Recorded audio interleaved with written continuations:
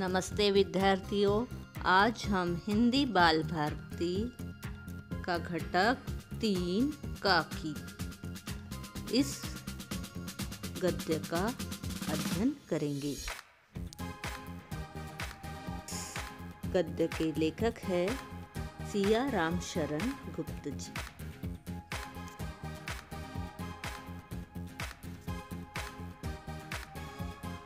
जन्म अठारह सौ पंचानवे, चिरगांव, उत्तर प्रदेश। मृत्यु उन्नीस सौ तिरसठ। रचनाएँ मौर्य विजय, बापू अमृतपुत्र काव्य कृतियाँ गोद।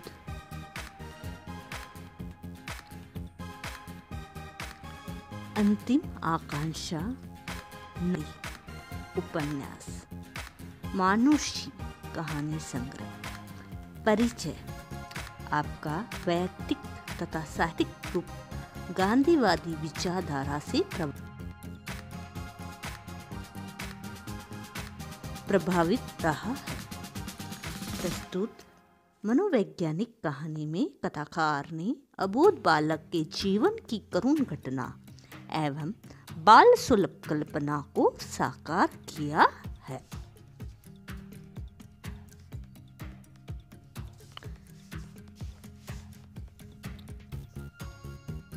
पाठ परिचय सिया राम शरण गुप्त जी ने इस में आत्मीय संबंधों और मधुर स्नेह का बहुत बड़ा आधार निकटता है, ऐसा कहा है। निकटता से किसी के आंतरिक एवं बाह्य जीवन का बोध सरलता से हो जाता है। श्यामू अपनी माँ को काकी कहकर बुलाता था। माँ से अधिक निकटता बच्चों की और किसी से नहीं हो सकती। प्रस्तुत कहानी एक मनोवैज्ञानिक कहानी है। इस कहानी में कथाकार ने बालक के जीवन की करुण घटना तथा उसकी बालपना साकार किया चलो हम अब आगे बढ़ेंगे। उस दिन बड़े सवेरे जब श्यामू की नींद खुली, तब उसने देखा, घर भर में कुहराम मचा हुआ है। उसकी काकी उमा नीचे से ऊपर तक एक कपड़ा ओढ़े हुए कंबल पर भूमि शयन भूमि शयन कर रही है और घर के सब लोग उसे घेर कर बड़े करुण स्वर में विलाप कर रहे हैं। मकान ले जाने के लिए उठाने लगे। शामू ने बड़ा उपद्रव मचाया। लोगों के हाथों से छुट पर जा गिरा। बोला, काकी, ये है। इसे इस तरह उठाकर कहा लिए जा रहे मैं इसे न ले जाने दूँगा। वह अपनी माँ को काकी कहा करता लोगों ने बड़ी कठिनाई से उसे हटाया। काकी के अग्नि संस्कार में भी वह न जा सका। एक दासी राम राम करके उसके घर पर ही संभाले यद्यपि बुद्धिमान गुरुजनों ने उसे विश्वास दिलाया कि उसकी काकी उसके मामा के आ गई है, परंतु असत्य के वातावरण में सत्य बहुत समय तक छिपा न रह सका। आसपास के अबोध बालकों के मुँह से ही वह प्रकट हो गया। यह बात उससे छिपी न रह सकी की काकी और कहीं नहीं, ऊपर राम के आ गई है।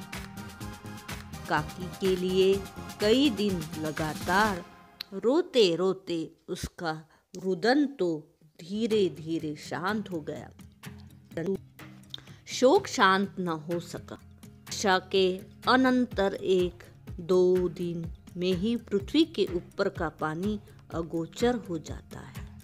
परंतु भीतर उसकी आर्द्रता जैसे बहुत दिन तक बनी रहती है। वैसे ही उसके अंतरस्थल में शोक जाकर बस था।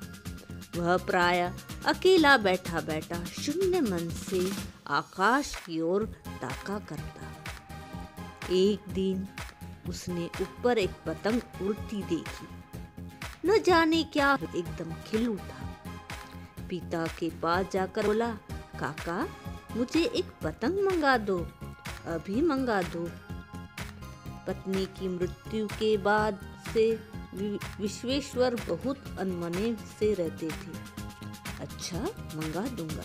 कहकर वे उदास भाव से और कहीं चले गए। शामू पतंग के लिए बहुत उत्कंठित था। वह अपनी इच्छा किसी तरह ना रोक सका। एक जगह खुंटी पर विश्वेश्वर का कोट टंगा था। श्यामू ने इधर उधर देखकर उसके पास एक स्टूल सरका कर रखा और ऊपर चढ़कर कोट की जेबें टटोली। एक चवन्नी पाकर हंसे, भाग भाग गया। किया का लड़का, भोला शामू का समवयस्क साथी था। शामू ने उसे चवनी देकर कहा, अपनी जीजी से कहकर चुपचाप एक पतंग और डोर मंगा दो।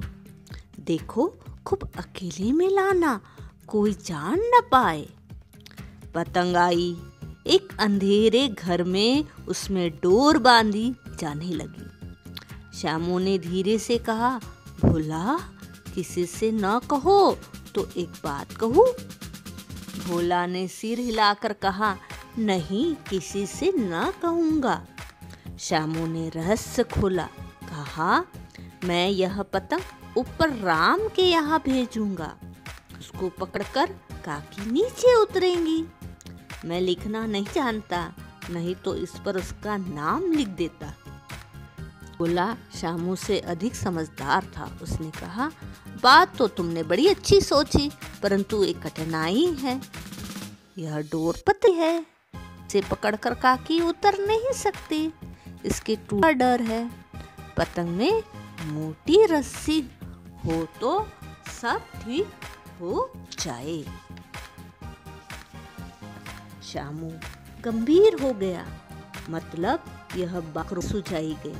परंतु कठिनाई यह थी कि मोटसी कैसे मंगाई जाए। पास में दाम नहीं। दो आदमी उसकी काकी को बिना दया मया के जला आए हैं। वे उसे इस काम के लिए कुछ देंगे नहीं। उस दिन शामू को चिंता के मारे। बड़ी रात तक नींद नहीं आई। पहले दिन की ही तरकीब से दूसरे दिन फिर उसने पिता के कोट से एक रुपया निकाला।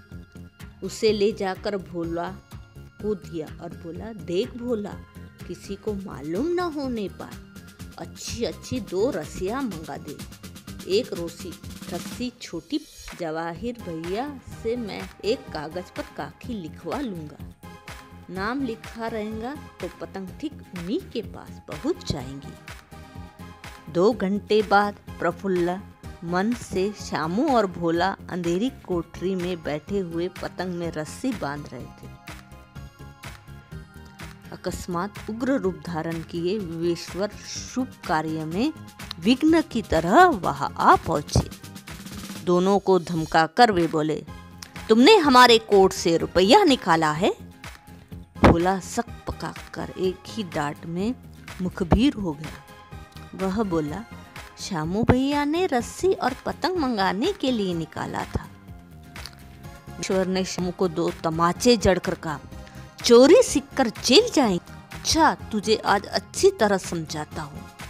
कहकर कई तमाचे जड़े और कान मलने के बाद पतंग फाड़ डाली। अब रस्सियों की ओर देखकर उन्होंने पूछा, ये किसने मंगवाई? ये किसने मंगाई? भोला ने कहा, इन्होंने मंगाई थी। ये कहते थे इससे पतंग तान कर काकी को राम के यहाँ से नीचे उतारेंगे। विश्वेश्वर हतबुद्धि होकर वही खड़े रह गए। उन्होंने फटी हुई पतंग उठाकर देखी। उस पर चिपके हुए कागज़ पर लिखा था, काकी।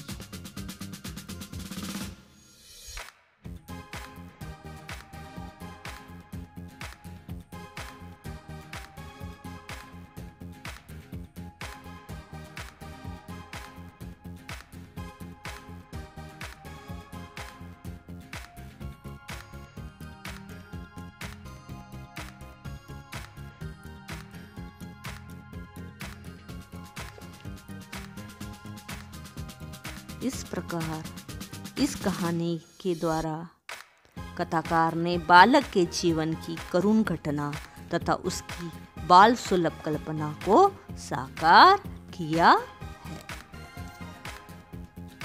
शब्दार्थ, कुहराम, कोलाहल, शोर, प्रफुल्ल, प्रसन्न, विलाप, रोना, अगोचर, अदृश्य, कंठित मुखबीर खबरी, अकस्मात अचानक, सब पकाकर भी मारी गई हो। रहस्य भेद। धन्यवाद। लाइक, सब्सक्राइब, शेयर ज़रूर कीजिए।